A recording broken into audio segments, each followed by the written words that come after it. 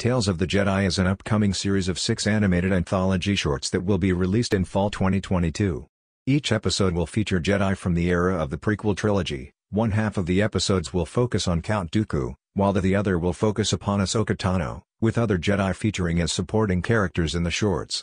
6. Created and written by Dave Filoni, the six-episode series is animated in the style of Star Wars, The Clone Wars and Star Wars, The Bad Batch. We will also be seeing Qui-Gon Jinn, Mace Windu, Yaddle, and more prequel-era Jedi.